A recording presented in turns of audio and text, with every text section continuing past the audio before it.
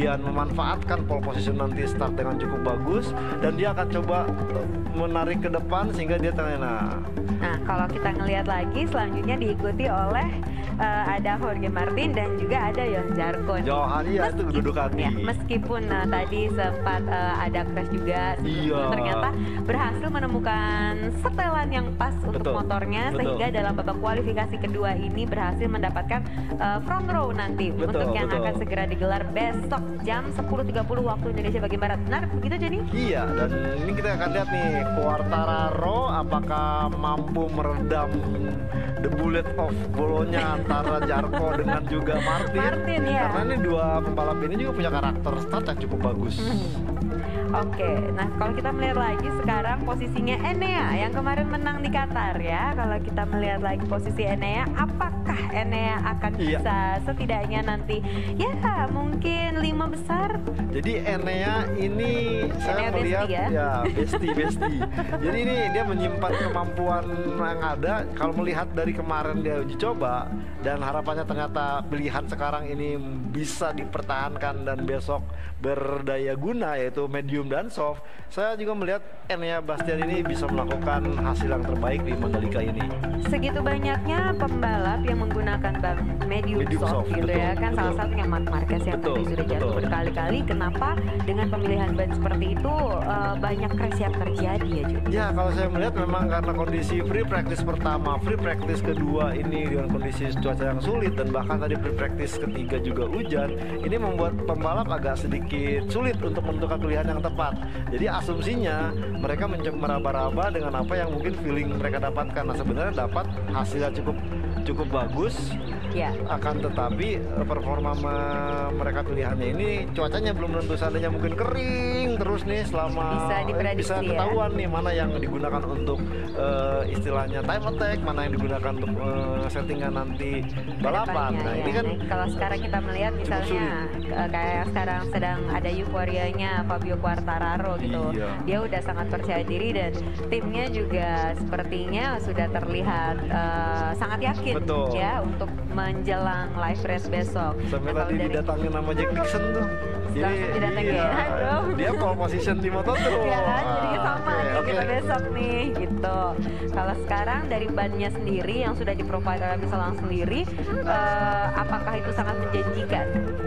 ya saya rasa mungkin akan sangat menjanjikan karena performanya cukup bagus dengan kondisi cuaca yang ya saya harapkan bisa sebaik ini sekarang adalah wawancara sama Zarko ya iya ini Zarko akhirnya bangkit lagi betul tadi tadi saya sempat pesimistik Oh gitu. Dia sempat pesimistis sama Jarko karena ya melihat itu kayak kayak kebingungan kan dia kayak hilang arah gitu kan sambil menunggu bagaimana uh, bagaimana caranya untuk dapat kembali lagi gitu.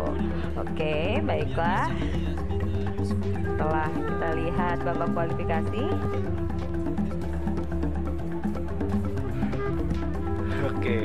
itu adalah dia babak kualifikasi untuk hari ini. Uh, memang benar-benar membuat deg-degan gitu ya kan. Tapi tenang aja, masih ada Betul, lagi masih ada kejutan betul. untuk hari ini untuk GP Mania, yaitu adalah laporan langsung dari Lucy Wiryono yang tidak sendirian bersama dengan siapakah dia? Langsung saja Lucy, silahkan Lucy.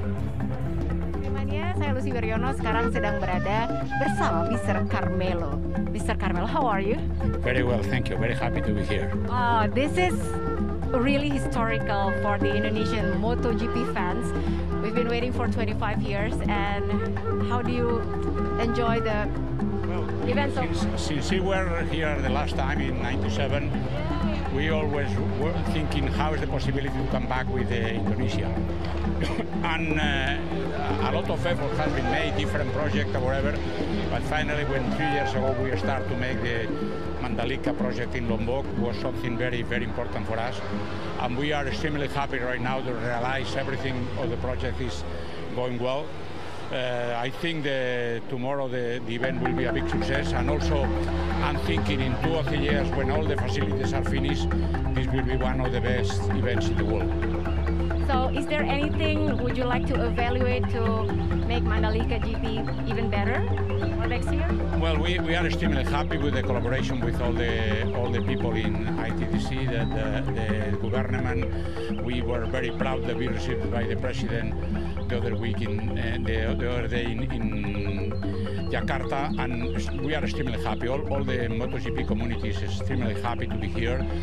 And okay, it's a very ambitious project. I think uh, they need to finish, but I'm sure when the project is completely finished, this will be something fantastic.